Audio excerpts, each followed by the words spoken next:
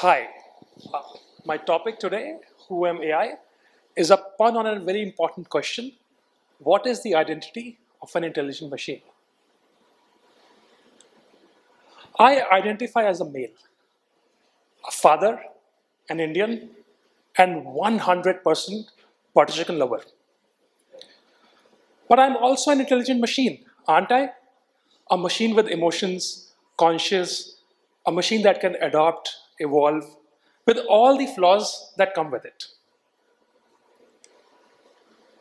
About a decade ago, I was working on an AI model, trying to predict the devices in a network based on their fingerprints. In short, we were trying to figure out if the device that you're using in your home behind the internet is a phone or a computer. Now, this was crucial because armed with this information, we could optimize the network and give users a better internet experience with much better quality. On the contrary, if our predictions were wrong, the experience would be ruined. So no pressure. We spent months, we were very excited, and we perfected the AI. We launched it in the North American market, and uh, we saw amazing results in the field.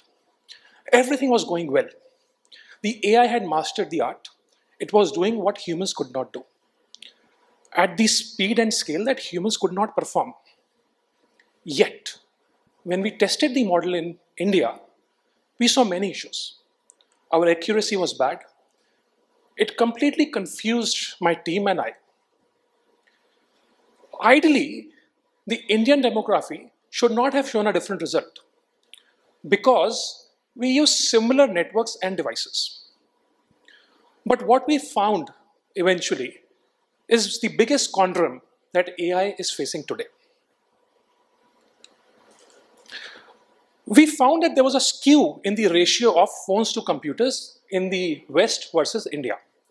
Say, uh, for about 100 phones, in, uh, in America, we would see about 20 computers. The number was very low in India. For about 100 phones, we saw less than one computer. This skew tricked the self-learning algorithm. Now, this could be a technical detail, but what we really missed was the socio-economic difference between these two economies. The fact that most Indians did not have access to a computer or seen a computer before they experienced internet was completely lost on us. And this was disturbing because we, Indians, sitting in India, with no malice towards anybody, completely forgot about a huge section of our own population just because it did not fit into our definition of the ideal world. Sadly, this is true with many technology companies. When Apple launched Face ID in China, they had to refund their buyers because the AI was not able to distinguish between Chinese faces well.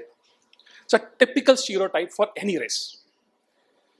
The, the most well-known example was of a, of a mother whose phone was unlocked by her young male child. So the AI was not able to distinguish across age, gender, and race. And imagine the horror of Google engineers when the early versions of Photos app was labeling some African Americans as gorillas. So is it the AI that was racist, classist, or a bigot? Or was it the humans behind it who were to blame? All of these problems were swiftly fixed when they were found. But that's like a you know whack-a-mole. It brought about an underlying paradox. AI is an amalgamation of human-generated data. The machines would look at the world with our lenses. And we have to agree, those lenses are very biased. So, how do we fix this? The machines do not get biases, they're not directly fed into the machines. It happens due to prejudiced data or due to bad design. I'll give an example. Uh, in computer science, there's a data structure called Boolean.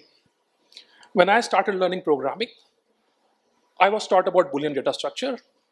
It can store zero or one, true or false.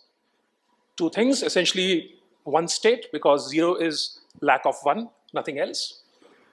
And every book that I saw had one standard example of how to use Boolean, that is gender. Male, female, zero, one. Simple. You save one eighth of space if you use Boolean instead of a character. Now imagine if a machine learning model is built with Boolean as its base, then it's going to have a hard time understanding non-binary genders. So to fix this, we have to start from fairness. Fairness at all levels. Fairness in the data sets that we use and fairness in the design. We have to make sure that we take care of all the identity characteristics.